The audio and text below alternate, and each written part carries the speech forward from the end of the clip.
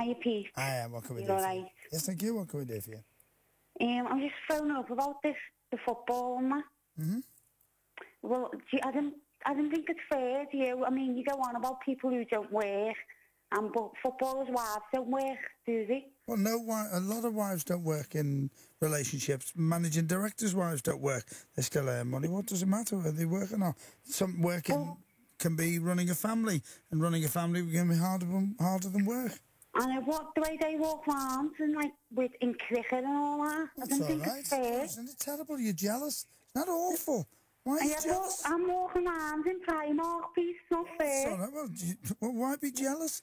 You should be happy I'm not for other jealous. Steve. You must be. You wouldn't come on I just don't think it's fair. Why?